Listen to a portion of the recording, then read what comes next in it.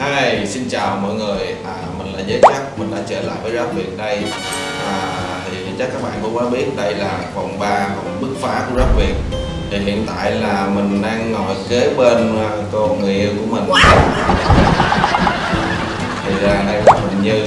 Thì chuyến này Huỳnh Như đi vào đây với chức năng là ủng hộ tinh thần cũng như là thắt kè cho giới mọi thứ.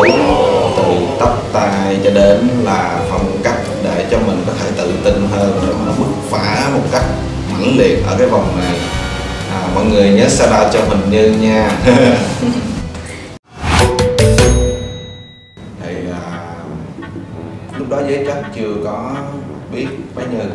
Cái tiệm của bé như tiệm cắt tóc nó gần với tiệm xăm của giới cái bé như mới vừa nói với những người bạn đó thì đi vô đó mua đồ nhưng mà giới chắc cũng nhìn như cô gái này ở hình như có trong truyền kiếp của mình. Xuất hiện ở đâu đó trong cái cuộc đời của mình rồi thì phải. Thế là giới chắc bị đứng hình à, không phải đứng hình 5 giây mà đứng hình đến 50 giây. Luôn là vừa mua một chiên mà vừa cố kiểu đứng đằng trước nó cho lòng cho ta đối phương để ý mình. Cái thế là sau khi mà mua bột chiên xong thì à, dễ đi về thì một tí nữa bé như mới nhắn tin cho dễ là anh ơi em muốn bút lịch xong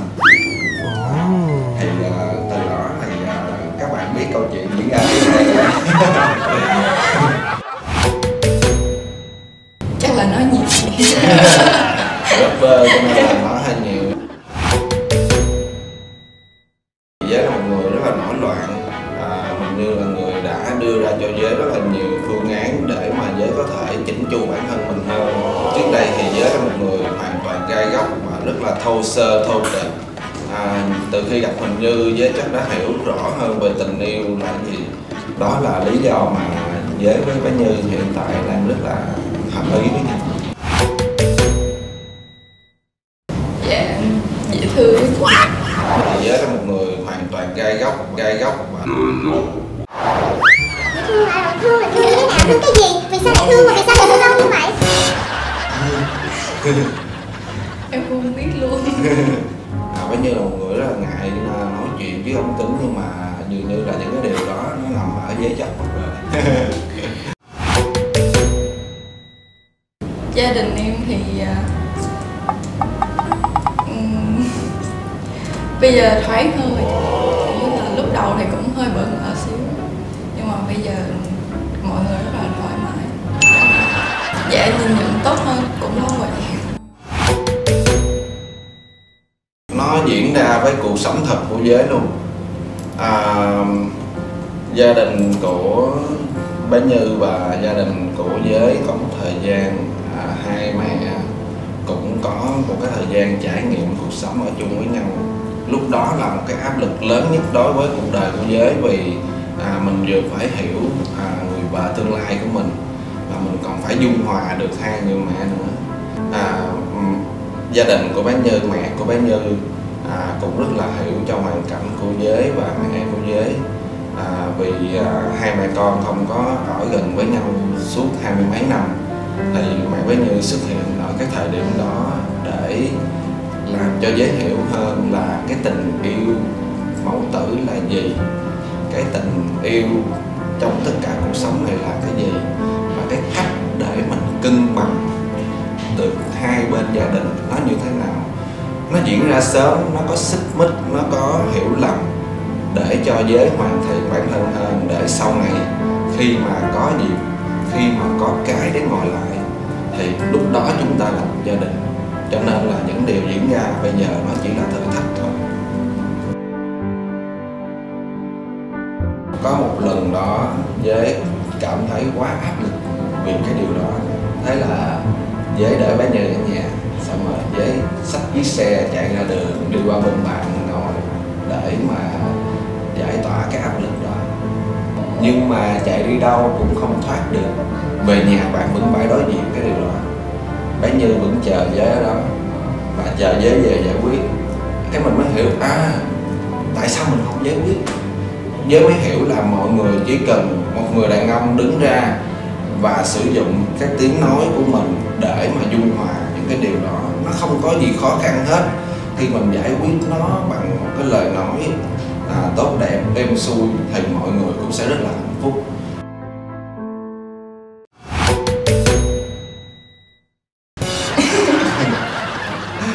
Ok em cứ em cứ nói em cứ uh, thoải mái uh, ok anh uh, ổn làm anh tính xấu thì nhiều lắm chị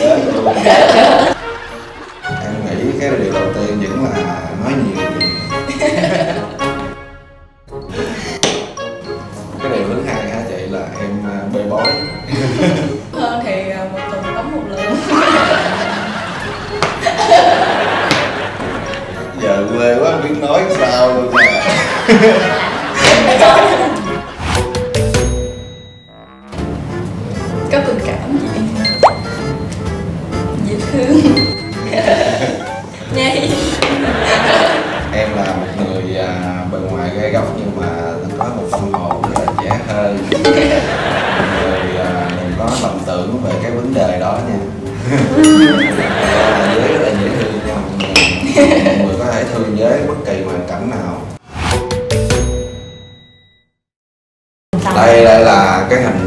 trên của bé như à, cái hình thẳng này có nghĩa là nó có đoạn đường để đi đến một cái sự trưởng thành và tiến tới hôn nhân.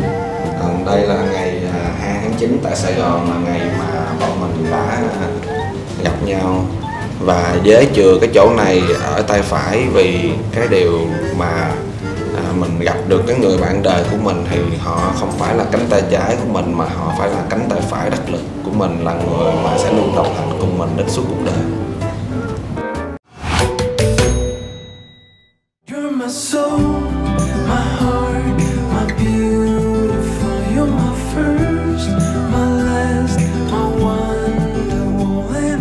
Đây là cách để à, người đàn ông thể hiện sự lịch lãm của mình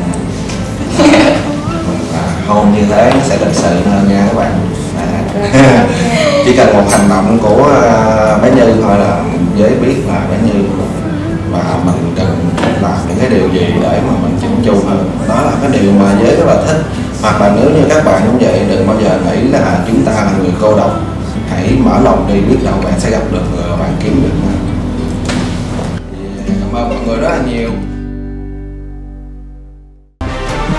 Rap Việt 20 giờ thứ bảy trên kênh Vi Giải trí.